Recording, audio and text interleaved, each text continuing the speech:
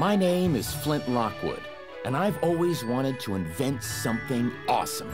Hair Unbalder!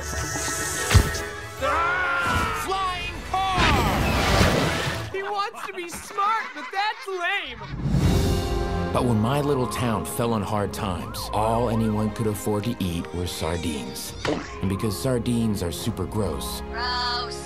This was my chance to show everyone what I was made of. Conversion of water into food.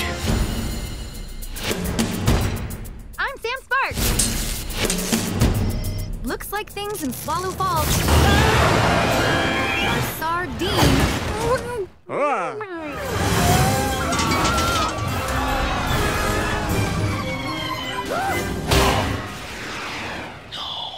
You know what you are, Flint Lockwood? A shenaniganizer. Why can't you be more like my son, Cal? Sup?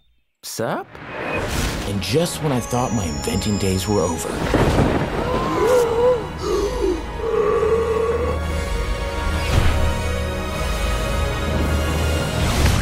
It really works! I love it! for the first time in my life, everybody loves something that I've done. May I please have waffles? Jello! Stay. Hi! Coming right up. Can you look me in the eye and tell me, son, you've got this under control and it's not going to end up in a disaster? These are big hot dogs. I've got this under control and it's not gonna end in a disaster. Oh. Mamma mia. The machine has a mind of its own.